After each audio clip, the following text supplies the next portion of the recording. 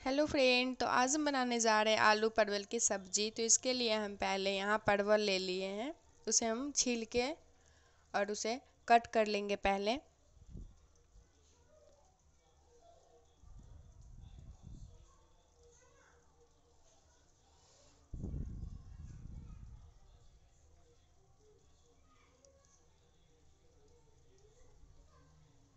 तो ऐसे ही हम सारे परवल को कट कर लिए हैं यहाँ पे। और यहाँ दो प्याज भी ले लिए हैं। तो परवल को हम पहले अब अच्छे से धो लेंगे।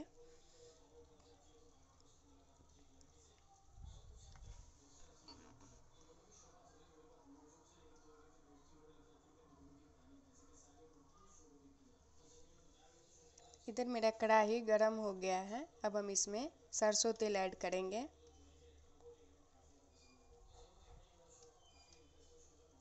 और पहले हम परवल को अच्छे से फ्राई कर लेंगे।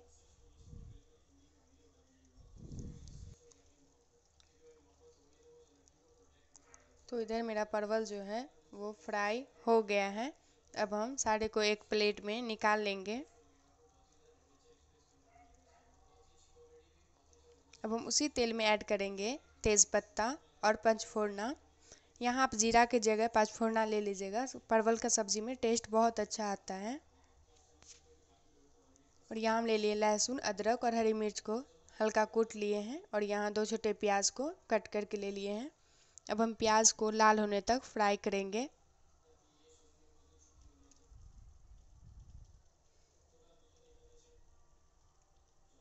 तो इधर मेरा प्याज भी फ्राई हो गया। अब हम मसाले ऐड करेंगे। हल्दी पाउडर और मिर्ची पाउडर। धनिया पाउडर, एक छोटे चम्मच गरम मसाला और नमक। नमक आप अपने स्वाद अनुसार कम या ज़्यादा ले सकते हैं। अब हम इसमें थोड़ा सा पानी ऐड करके मसाले को हम अच्छे से फ्राई करेंगे।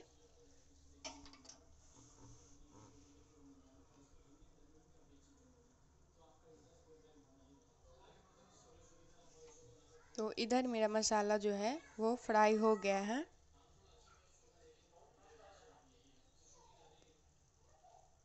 अब हम इसमें ऐड करेंगे बॉईल किया हुआ आलू।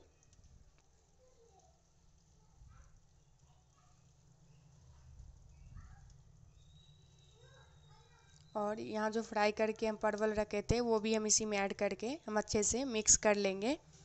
अब हम इसमें पानी ऐड कर देंगे। तो मेरे जो आलू परवल की सब्ज़ी है, वो बनके तैयार है। ऊपर से हम थोड़ा सा चिकन मसाला ऐड करेंगे। तो आज की रेसिपी कैसी लगी कमेंट में ज़रूर बताइएगा। यदि वीडियो अच्छी लगी हो तो वीडियो को लाइक कीजिएगा एंड सब्सक्राइब कीजिएगा।